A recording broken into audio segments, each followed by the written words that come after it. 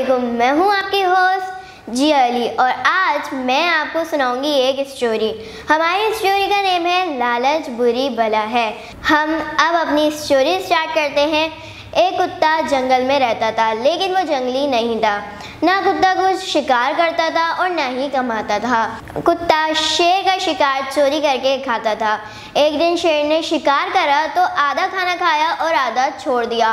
कुत्ते ने वहाँ से एक गोश्त का टुकड़ा चोरी कर लिया। कुत्ते ने एक गोश्त का टुकड़ा चोरी कर लिया। कुत्ते ने सोचा कि वो किसी दरिया के पास बैठ के आराम से खाना खाएगा। एक दरिया के पास गया, वहाँ पे इतने सारे जानवर थे कि कुत्ता कंफ्यूज हो गया।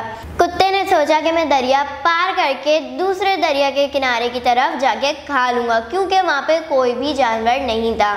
जब कुत्ता दरिया पार करने लगा तो उसने अपना फ्लैक्शन यानी अपना साया दरिया के पानी के अंदर देखा। कुत्ते को क्या पता था कि वो उसका साया है?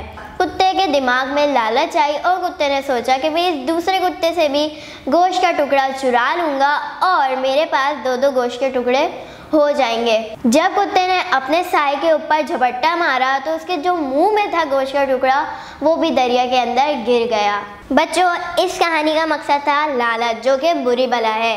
तो मैं आपसे रिक्वेस्ट करूँगी कि कभी भी लालच ना करें, क्योंकि लालच का अंजाम कहीं कल ना हो, उस वक्त ना हो, लेकिन बाद में तो होता ही है।